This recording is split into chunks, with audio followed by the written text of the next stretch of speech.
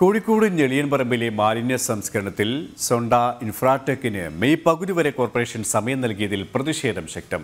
കൃത്യമായ മാലിന്യ നിർമ്മാർജനമാണ് നടക്കേണ്ടതെങ്കിൽ സോണ്ട കമ്പനിയെ ഒഴിവാക്കിക്കൊണ്ട് മുന്നോട്ടു പോകുമെന്നും പ്രതിപക്ഷം പറഞ്ഞു. കമ്പനിക്ക് സമയം നീട്ടി നൽകിയതിൽ ബി ജെ പിയും വിയോജിപ്പ് അറിയിച്ചു. ഞെളിയൻപറമ്പിലെ ബയോമൈനിങ്ങും ക്യാപ്പിംഗും പൂർത്തിയാക്കാൻ സോണ്ട ഇൻഫ്രാടെക്കിന് മെയ് പതിനേഴ് വരെയാണ് കോർപ്പറേഷൻ സമയം നീട്ടി നൽകിയത്. മുപ്പത് പ്രവൃത്തി ദിവസത്തിനുള്ളിൽ പണി പൂർത്തിയാക്കണമെന്നായിരുന്നു നിർദ്ദേശം.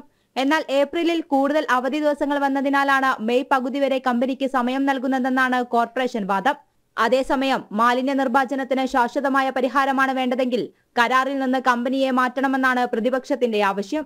ഒരു പ്രൈവറ്റ് സ്ഥാപനം കോർപ്പറേഷനുമായി ബന്ധപ്പെട്ട് ഒരു കരാർ എടുത്താൽ സമയബന്ധിതമായി അത് നടന്നിട്ടില്ലെങ്കിൽ തൊട്ടടുത്ത സമയങ്ങളിൽ ആ കമ്പനിയെ ആ കരാറിൽ നിന്ന് മാറ്റി ടെർമിനേറ്റ് ചെയ്ത് മറ്റു ഓപ്ഷൻസ് ആലോചിക്കുകയാണ് ചെയ്യുക.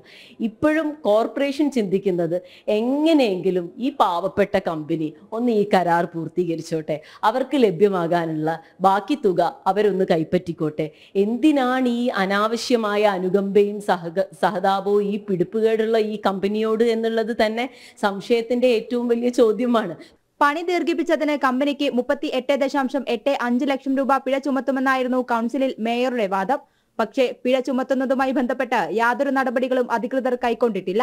രണ്ടായിരത്തി പത്തൊൻപത് ഡിസംബർ പത്തിനാണ് കമ്പനിയുമായി കോർപ്പറേഷൻ ആദ്യ കരാർ ഒപ്പിട്ടത്. ഏഴ് ദശാംശം ഏഴ് ഏഴ് കോടിയും ജി എസ് ടിയും ഉൾപ്പെടുന്നതായിരുന്നു കരാർ തുക. നൽകിയ കരാർ മാറ്റി പ്രവൃത്തി പരിചയമുള്ള കമ്പനികൾക്ക് കരാർ നൽകണമെന്നാണ് ബി ജെ പി അടക്കം ആവശ്യപ്പെടുന്നത്. കമ്പനിയെ സംരക്ഷിക്കുന്നതിന് പിന്നിൽ സി നേതാവിന്റെ സമ്മർദ്ദമാണെന്നാണ് ആരോപണം. ജനം കോഴിക്കോട്.